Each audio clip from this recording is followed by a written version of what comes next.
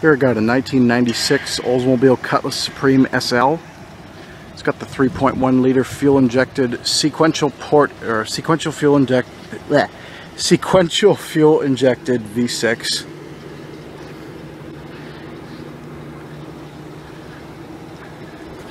It's in pretty good shape.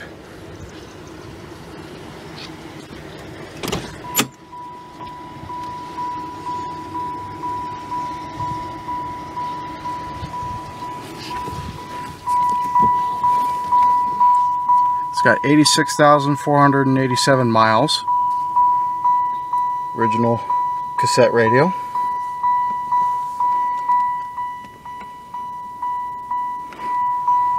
Let's go ahead and fire it up.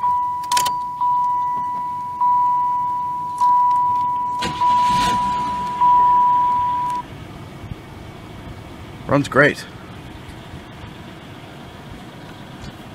It's got a four-speed automatic transmission with overdrive.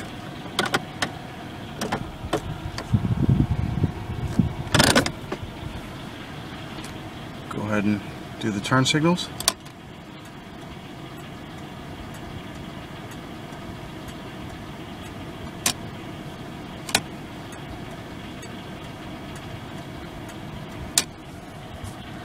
And the hazards. And they click but the lights don't light up on the dashboard. And nor do the outside lights which is kind of weird.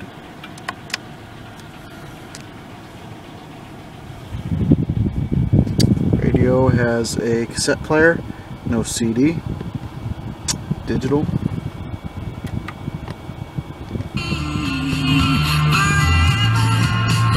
Sounds pretty good for a stock GM radio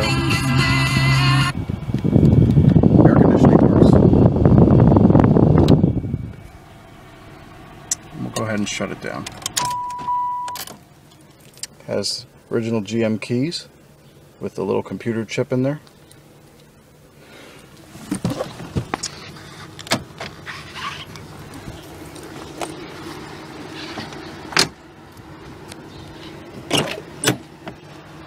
Interior's in fantastic shape. A little bit of rust down there. It's got power windows and power locks and power uh, manual mirrors, sorry.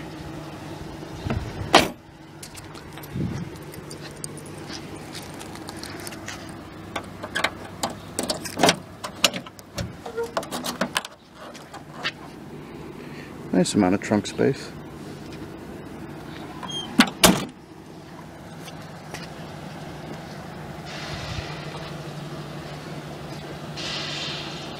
Yeah, this is one really, really nice car.